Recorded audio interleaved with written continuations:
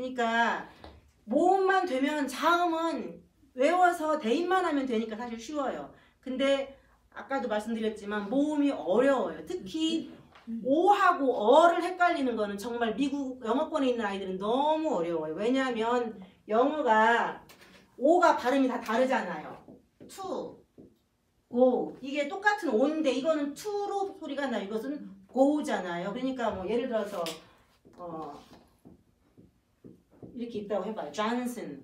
다 오가 들어갔는데 이 오가 다 각기 다른 소리를 내기 때문에 어, 영어권에서 이것이 익- 익숙해 있는 아이들은 오라는 걸 보면 그냥 어로 읽어요 무조건. 오가 아니고. 그래서 받아쓰기 해보시면 고구마라고 내가 열 번을 불러줬는데 다더 맞죠?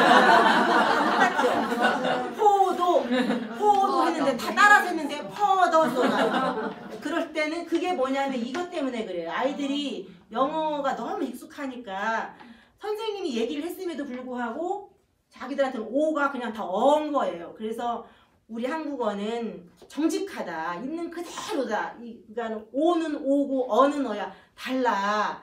근데 그게 왜 중요해? 뜻이 달라지잖아요. 그러니까 는 그걸 계속 강조하셔야 되는데 아이들이 그것이 익숙해지려면은 한 2년 걸리는 것 같아요. 그래서 한글 다 띄고 일에 올라가도 헷갈리고 이제 그러니까 이거는 매주 하셔야 됩니다. 니은 배운 날은 그 전주 배우는 거 가야격여 디귿할 때는 뭐 가야격여 나나년을 계속 노래하면서 하셔야 돼요. 그래서 설명하는 방법은 이렇게 하시면 되고 모음이 제일 중요하다는 거 어쨌든 근데 선생님들한테 모음 하세요 그러면 아 했는데요 한 번 가지고 안 돼요. 그리고 올라가도 받아쓰기 해보면 틀리잖아요. 그래서 이제 요 방법대로 하는 거 모음은 어, 지금 제가 하는 말 다 경험하고 계시는 거지 교실에서 다 똑같아요. 그래서 10개를 하는 게 좋고 그런데 혹시 큰 학년 기초 가르치는 선생님 계세요? 고학년 뭐 4, 5학년 이런 애들은 그냥 사실 이중문까지 다 해도 돼요. 한 한 번에 가르치고 한 달 동안 외워 그러면 외울 수 있거든요. 근데 나이가 어린 아이들은 안 되는 것 같아요. 그래서 아무래도 시간을 다 쓰셔야 됩니다.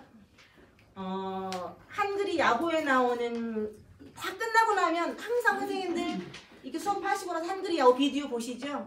꼭 하셔야 돼요 그거는 왜냐하면 그게 클로징이에요 그거를 선생님한테 얘기하고 나서 비디오 보고 나면 그게 딱 이제 마침표가 되는 거거든요 그 다음에 어, 제가 오늘 집에 있는 거 수업하실 때 재미나게 하는 거는 첫날은 모음 배우니까 선생님들이 준비해 가시면 돼요 예를 들어서 이게 뭐지? 그러면 여우잖아요 그러니까 모음으로만 소리 나는 단어 여우 뭐 요요 뭐 우유 오이도 있잖아요. 그래서 그 우리 단어에 나오는 교과서에 첫날 선생님이 준비를 해가세요. 그래서 이렇게 보고 어, 수업을 하시고 내 다음 주는 기억이니까 첫 소리가 기억으로 시작하는 거 뭐든지 가져와봐 이렇게 얘기를 하세요.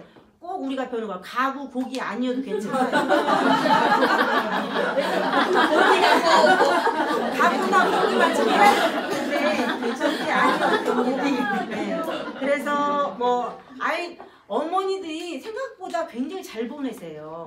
니은 할때 보니까는 뭐 나사 이런 것도 보내시고 해서 생각보다 우리는 기억 못하는데 다 지플럭백에다가 이름 써가지고 보내시는데 그러면 다 걷어서 이렇게 놓고 오늘 이거 뭐 정은이가 가져온 뭐네 이렇게 하면서 하면 참여도 되고 더 즐거워요. 그래서 학습 그 편지 내보낼 때 항상 거기에다가 다음 주는 디귿입니다.